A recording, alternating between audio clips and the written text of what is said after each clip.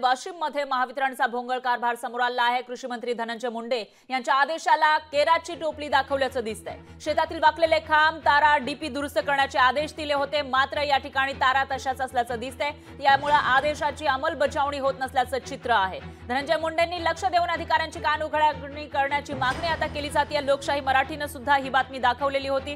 कारण या महावितरणच्या भोंगळ कारभाराचा फटका अनेक शेतकऱ्यांना बसलेला आहे. अनेक शेतकऱ्यांचे जीव गेलेले आहेत आणि अशातच लोकशाही मराठीनं या लोकांच्या समस्या या शेतकऱ्यांच्या समस्या मांडण्याचा प्रयत्न केला. त्यानंतर कृषी विभागाला जाग आली आणि कृषी मंत्र्यांनी ज्या शेतकऱ्यांचा मृत्यू झाला आहे त्यांना मदत तर जाहीर केलीच होती पण महावितरणला या सगळ्या गोष्टींची दुरुस्ती करण्याचे आदेशही दिले होते पण या आदेशाला महावितरणनं केळाची टोपली दाखवल्याचं दिसतंय. कारण अजूनही खांब वाकलेले आहेत तारा शेतांमधून जात असल्याचं या ठिकाणी पाहायला मिळतंय. त्यामुळं आता धनंजय मुंडेंनी लक्ष देऊन अधिकाऱ्यांची कान उघाडणी करण्याची मागणी केली जाते त्यामुळं ही मागणी कधी पूर्ण होणार ते बघावं लागेल.